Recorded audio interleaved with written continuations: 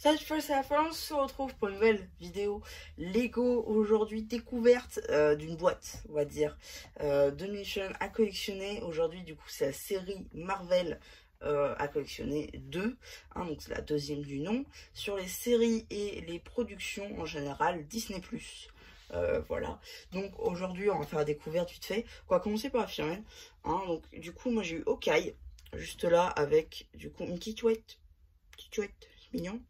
Euh, ici, le nouveau moule dark qui est super stylé. Pareil pour les cheveux. Euh, nouvelle impression de tête. Voilà.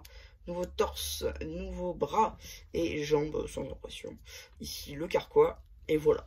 C'était à peu près tout hein, pour la figurine, honnêtement. Même si les bras sont stylés et tout, il n'y a pas grand chose à, se mettre sous la dent. Mais voilà, ça reste une figurine très sympathique. Et donc, donc la série complète, voilà de quoi elle est constituée. Donc de Agatha, euh, Agatha Harkness, qui du coup permet de compléter la collection Vision et aussi par la même occasion de compléter euh, du coup la, euh, de faire sa collection pour Coven of Chaos. ensuite, du coup, vous avez la, la collection Moon Knight juste ici qui est composée que de deux figurines. ici aussi d'ailleurs, vous avez Werewolf by Night qui lui-même une, collection. Ici, Shilk, pareil, une seule collection.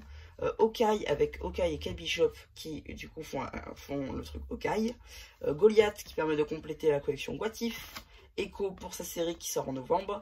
Et enfin euh, The Beast, Storm et Wolverine qui permettent de compléter la collection X-Men 97 ainsi que la tête du sentinelle euh, déchirée un petit peu qui permet de compléter un set de 2014 euh, il me semble.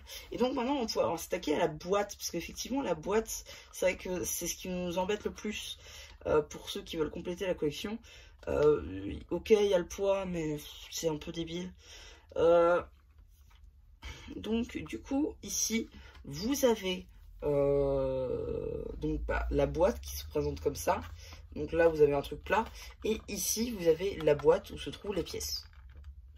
Voilà comment c'est à l'intérieur. Bon, voilà, c'est ce qui va nous embêter le plus. Euh, pour le coup, comparé à un sachet. donc là, c'est le sachet Disney. Voilà, c'est énormément plus petit. Ça fait la taille de ça. Et du coup, l'espace à l'intérieur est deux fois plus petit. Euh, donc non, franchement, c'est peut-être pas mal. Je peux en mettre plus dans les boîtes, c'est sympa. Mais bon, euh, pour tâter, c'est pas où, je veux dire. Voilà, c'est. C'est pas l'optimal, quoi. Donc, il y a des gens qui s'amusaient à faire ça. Regardez les pièces qu'il y a dedans, je prends, je prends pas. Voilà, je veux dire... Faites comme moi, trouvez un pattern et prenez les figurines juste que vous avez besoin. Si ça marche pas, par contre, bah, je serai le premier à vous le dire. Mais euh, voilà, donc euh, ouais, c'est à peu près tout pour cette découverte. Pour le coup, je suis pas très content parce que bah, on peut pas tâter et on peut pas trouver les figurines qu'on veut. C'est un petit peu ça aussi une série fixe, c'est-à-dire tac, je veux ces figurines là, tac, je tâte et je trouve la figurine que je veux. Pour le coup, euh, là, c'est plus trop possible. Donc il n'y a plus qu'à espérer qu'on aura euh, la chance d'avoir un pattern inter, intercontinental, on va dire qui permettra du coup euh, d'avoir tout ce qu'on veut. Voilà, bon, j'y crois pas trop, mais euh, bon, pourquoi pas.